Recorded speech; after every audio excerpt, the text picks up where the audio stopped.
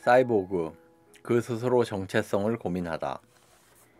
오시 마모루 감독의 영화 공각기동대는 2029년 정도의 미래 인간의 뇌와 기계화된 몸이 결합한 사이보그가 인간과 함께 활동하는 시기를 배경으로 한다.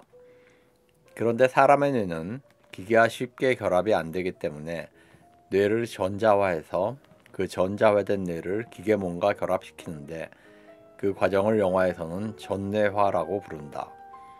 전뇌화를 하면 다른 네트워크, 인터넷과도 통신이 가능해지며 목 뒤에 네트워크와 결합할 수 있는 장치들이 있어서 여기에 코드를 꽂으면 통신 시설과 결합되고 다른 전내의 해킹도 가능하며 다른 사람의 정신을 들여다보는 일도 가능하다.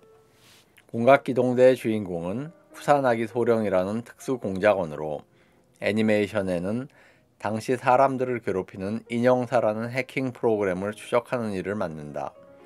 쿠사나기 또한 몸의 대부분을 기계로 대체한 존재로서 뇌조차 전뇌화된 자신에게 정신이라 할 만한 것이 있는지를 고민한다.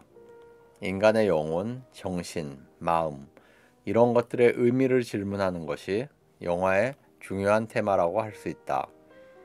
쿠사나기는 사람이 사람이기 위해서는 굉장히 복잡한 많은 것들이 필요하듯이 사이보그인 자신도 진정한 자신이 되기 위해서는 많은 것들이 필요하다는 결론에 이른다.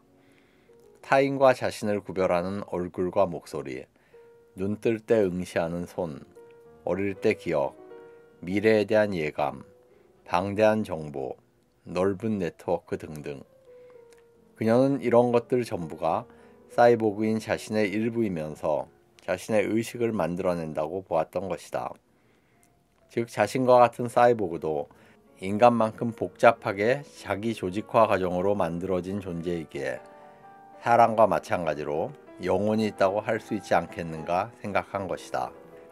흥미로운 점은 영화의 악당 인형사는 컴퓨터 프로그램에 불과하지만 자신이 온전한 생명체라고 생각하고 정보국에 정치적 망명을 요청한다.